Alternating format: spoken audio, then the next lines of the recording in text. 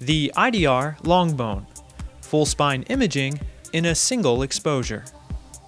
The IDR long bone is another innovation from iCRco, and it completely revolutionizes how long bone imaging is done. It also eliminates the need for image stitching software, and it encapsulates a 14 by 51 inch plate, which enables you to take full spine imaging in a single exposure. Now, for the first time, full spine imaging has never been easier. The x ray technician positions her patient and moves to her workstation to acquire her image.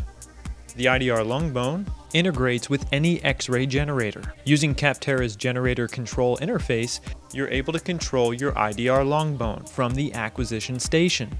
In just a few short moments, she's able to take her exposure and acquire her image within Capterra's interface.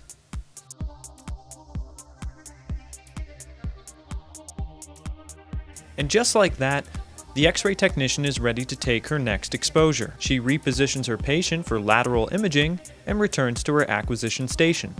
In addition to capturing a full spine image, you can also select a specific region to capture a specific anatomy, and within seconds, the image is processing. Once the image is processed, she can adjust brightness and contrast, window level, take measurements, and adjust the image accordingly. In under two minutes, the X-ray technician was able to acquire an AP and lateral image and can now prepare for her next study.